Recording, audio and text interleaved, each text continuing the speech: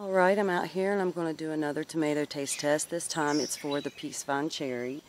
This is an indeterminate cherry tomato with regular leaves. And it gets its name from its high amount of amino acids, which are known to make you feel content and at peace. So that's where it gets its name. I just read that little factoid. So here it is.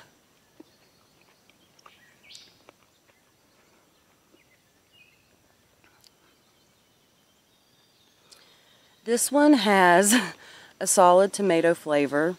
It is very, just a very tomatoey tomato. It's got a bit more tang than sweetness, but it does have sweetness.